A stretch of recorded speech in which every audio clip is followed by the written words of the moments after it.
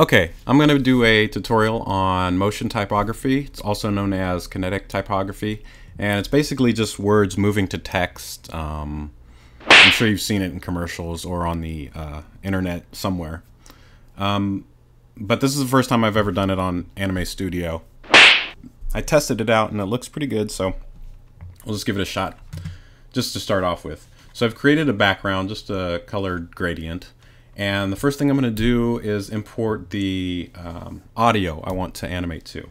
And I've picked Ariana Grande's uh, Side to Side, just the very first verse. Basically because it starts off with lyrics. And, um, oops. Let me go back to frame zero and import that. And, okay. So it starts out with um, the lyrics, I've been here all night. So I'm going to create the uh, text for that. So I'm going to hit Command T. And I already have impact selected. And I'm going to type in IVE. And I chose um, impact because it's a thick font. So I want it to be really visible. So IVE. Hit return or OK.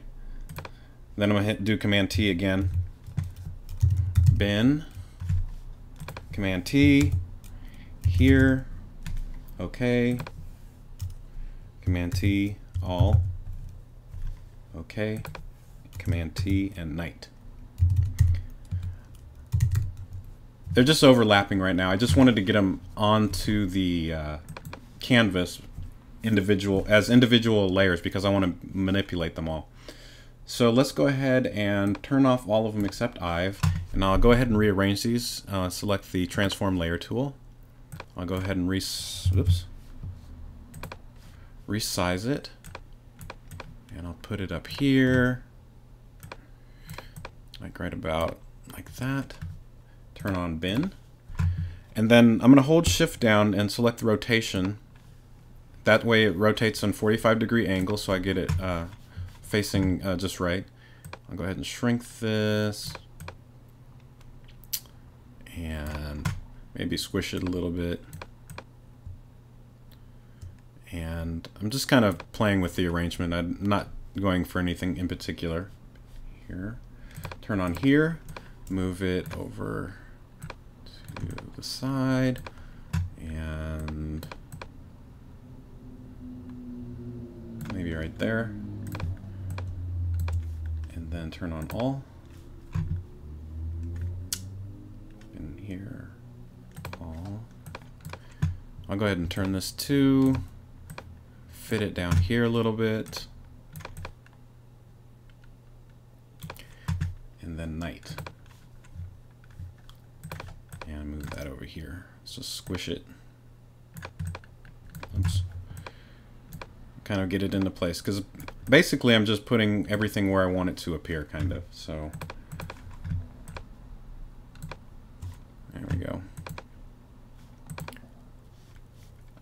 again, nothing in particular. So now that we have all of our words here, let's go ahead and put it into a group because we want to be able to move the entire group um, together for the next set of words. So let's call this lyrics one and we'll go ahead and put those in that folder. So I just held shift down and clicked one layer and then while holding shift clicking all of the others and then dragged them into this folder. So they're all in the folder right now. Now I want to make these all invisible. So I'm going to double click on night or whatever is your top layer. Um, and then go ahead and go to general. Hold shift down and select all of your words again and uncheck visible and apply. And that just hides all of the text together at the same time. And now we just need to make them reappear um, when the music's playing. So we'll go to IVE and go find it um, using the audio track down here. So she starts singing right here. So we'll double click IVE, go to General, Visible, Apply, and OK. Do the same thing with uh, Bin. Appears right about there. Double click, General, Visible, Apply, OK. And don't worry if it's off. You can always move the visibility later on. Here, double click the layer, general, visible, apply, okay. All. Right there, double click it, general, visible, apply, okay.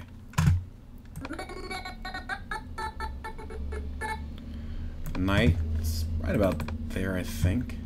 General, visible, apply, okay. So now you can see we got them appearing um, when they're supposed to, but now let's animate them a little bit. So I'm going to go to Ive again, and let's have this rotate in. So let's actually take the visibility keyframe and pull it back a little bit. And we'll go to right, right where we pulled it to. And we're going to use the rotate layer XY. So we'll click on this. And I'm going to hold down Option and left click and drag till it turns. Oops. Okay, so see how it's turning? It's turning the words in 3D space. That's why it looks like it's in perspective. We don't want it to actually uh, be in perspective because we want this to look invisible, to turn directly 90 degrees. So what we need to do is double click the group folder and click immune to camera movements and apply. So now, okay, we want this to disappear here. So again, with the uh, rotate layer XY, hold down Option, left click and drag until it disappears. And then we'll go back to where it says Ive, hold Option down, and then left click and drag to the right until it reappears correctly. So basically what it's doing is turning it in 3D space. So we can change the uh, visibility and where it starts rotating. And you can see it looks like it's squishing it, but it's actually turning it. And we'll go ahead and do the same for bin. So again, pull it back. And so this is where it's going to start. So we'll use the uh, X rotate layer XY. Drag it so it's disappeared and see it's actually turned it's where it's not visible. Hold option down, pull, pull it back into place. Okay. So instead of turning the here lyric, we'll go go to here. We'll pull it back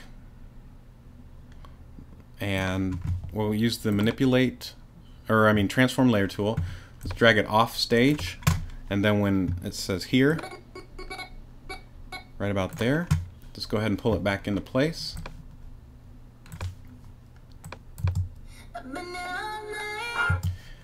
And I kind of like all just popping in, so we'll just leave it like that. Pull this up a little bit. And night, let's click on that. We'll pull the visibility back. Click right here. Let's rotate it. I'm going to rotate it upside down and off stage and then and wherever night is we'll go ahead and rotate it back and there and it doesn't matter where it is when it's um, hidden it only matters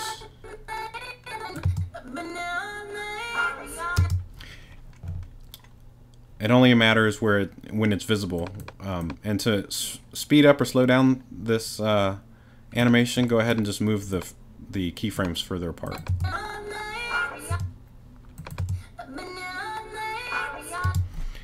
And there's the basics, or very beginnings. I know there's a whole bunch more that I can do with kinetic typography. Um, this is kind of just to show you a couple examples of how to animate text into the frame, or into your scene. Um, also, I wanted to show you um, putting uh, images inside of your text. So since she says night, we'll go ahead and put a picture of the moon in there. So, so she says night. Right before she says night, I'm going to import a picture of a moon that I found. and it's a PNG file, so the background is uh, transparent. And you can see it's in the folder. Um, we need to mask it out. So to mask everything, go ahead and click um, the double click the group layer and click masking and hide all. Now when I apply that the only thing that's masking out is the IVE. That's because it defaults Anime Studio will default the bottom layer as the mask. So everything else is actually being um, masked out, and we want them to be part of the mask. So um, double click IVE. That just opens this layer settings window because you need to have this open. Hold shift down and select all of your words. Go back to masking and add to mask and apply. Oops don't do it on this one.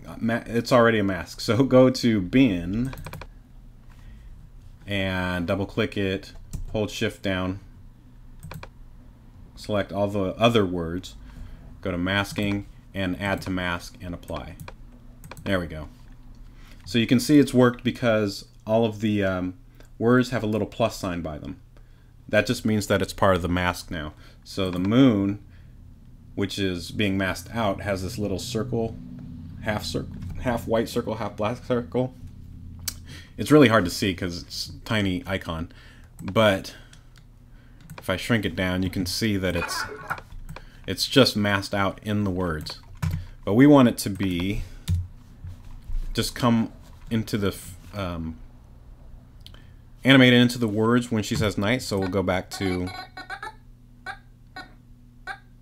Okay, that's where the moon appears. We're just going to drag it off stage. And then when she says night, we can have it land at the same time when night stops moving. So go to that keyframe in the timeline and then just pop it up in there wherever you want.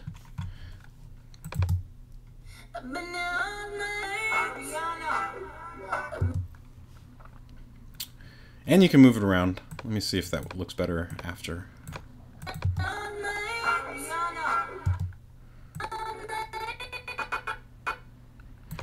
Let's make it, see, um, you can tell in the audio where the beat hits. So we'll just move this to the moon to stop right on the beat. And then, the other thing is, since we have the layers, or the first group of layers in a folder, we can animate the entire folder to move off. So if we want to go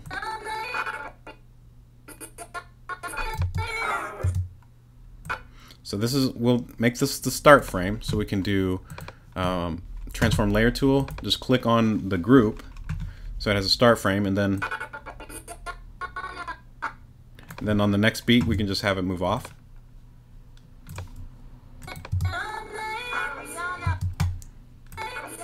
Oops. There we go. So I moved the start frame over to here.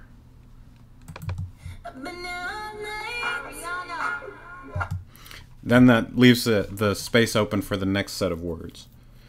So again, this is just the very, very basics of kinetic typography. I'm super new to it. I've actually never tried it before, again, like I said. So um, I'll keep experimenting with it, seeing if I can figure out um, new things to do. Because there's, if you've looked at kinetic typography on uh, line, if you just look it up here on YouTube, there's really, really cool things you can do with it. Um, but again, this is just the basics uh, if you want to get started with it in Anime Studio or Moho. And um, I'll try and make a part two when I learn more. So if you have any questions or comments, leave them down below, and thanks for watching.